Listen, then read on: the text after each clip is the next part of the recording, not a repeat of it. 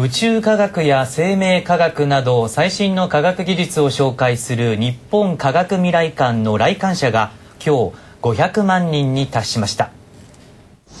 日本科学未来館は最新の科学技術を一般に広く知ってもらおうと2001年に開館し今日500万人目の来館者を迎えました。500万人目となったのは北区の大木第五小学校に通う吉田和樹君で母親と妹と一緒に訪れました。来館は2回目で翼竜展を見にやってきたということです。館長の毛利守さんから認定証や DNA 抽出機などが入った記念品が贈られたほか地球型の立体ビジョンに名前が映し出されました。いきなりだったんでものすごくびっくりしました。今日来てないお父さんに伝えたいです。この後吉田君たちは毛利さんの特別ガイドで館内を見学しました。おめでとう。ね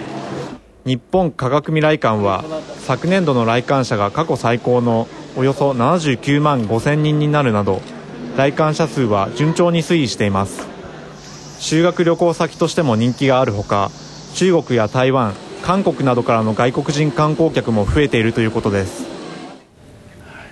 500万人目というのは狙ってできるものじゃないですからね、そうですね。すごくラッキーな男の子ですね。そうですね。でも残り少ない夏休みのいい思い出になったんではないでしょうか。そうですね